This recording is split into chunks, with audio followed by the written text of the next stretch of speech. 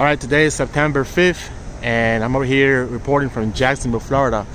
Even after the hurricane Dorian has passed, um, the aerosol attacks continue over Jacksonville skies as the hurricane went away north to uh, Carolinas. As you can see right now, this is Jacksonville, Florida. After this hurricane has gone by,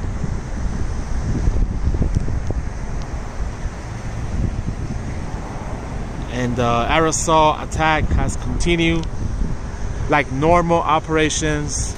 And they already covered the entire sky with all this toxic aluminum barium okay? As you can see right here non-stop spraying has continued throughout Jacksonville Florida after even after the hurricane passed. September 5th it's 10:30 a.m. and the spraying continues to spray our sky with chemtrails and chemicals even after the hurricane passed. This geoengineering um, toxic skies are being dumped every day, basically almost every day in our skies, and it's non-stop.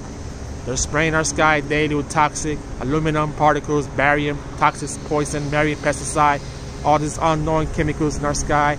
This is non-stop. This is all artificial sky right here. This even after the hurricane has gone by north to the Carolinas. You can see all the aerosol spraying on top of the sky right now. Non-stop chemicals covering the sun and maybe creating another um, readiness for another hurricane attack. Alright guys, as you saw on my recently video um, showing you that we are now being sprayed all over Jacksonville uh, even after the hurricane passed. Today is September the 5th. It's um, already 11 o'clock a.m. and they have pretty much covered the entire sky with the spraying. And as you can see right here on this map, I'm going to show you they're actually spraying now pretty much everywhere. There, there are cloud seeding our sky and it looks like right now I'm in Jacksonville and you see all this right here. It's cloud seeded. All the clouds in blue and yellow. It has been cloud seeded. And now the hurricane is probably absorbing all this um, cloud seeded clouds and making this hurricane even more bigger as you can see right here on this radar. Um, somebody is fueling this hurricane. Somebody is behind this geoengineering and making this hurricanes bigger. So carolinas uh, will probably get impacted by this massive hurricane that's being built right now as we speak. Right now it's being built via aerosol spraying geoengineering okay? This is an engineered hurricane as we know this has been a control hurricane since day one. Okay, Puerto Rico didn't get hit. Why? Because they also have like five different type of Doppler radars in place, and maybe they used it to steer this hurricane up north, and that's where they got lucky this time. But um, other thing that I was concerned, um, Bahamas. Bahamas has a huge Chinese docking station, okay, to dock goods and products and stuff like that. And it's funny how um, that hurricane just pounded the Bahamas without moving. It destroyed pretty much the entire island. Almost 75% to 80% of the island was destroyed. Even the Chinese um, docking station.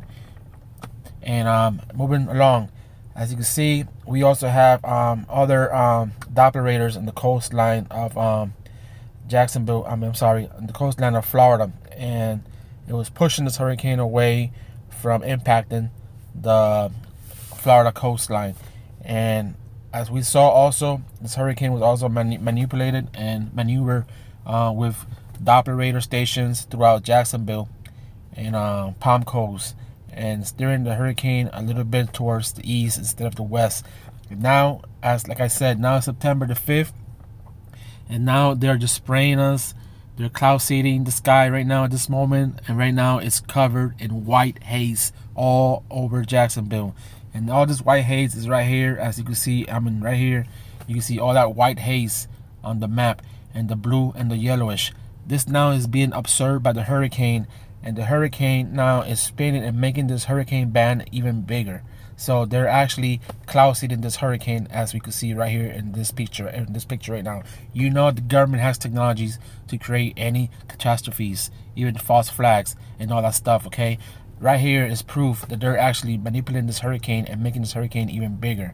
All right, thanks for watching my video, and it's up to you to think what I'm saying.